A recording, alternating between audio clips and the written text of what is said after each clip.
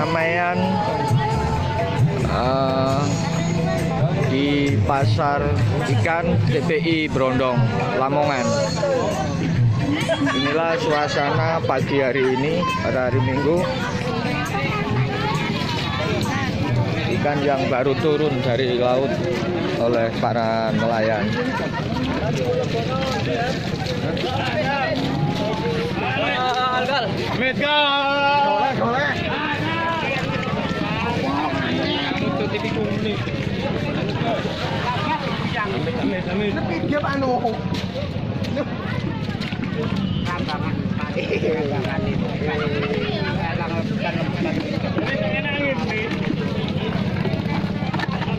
Pemilihan ikan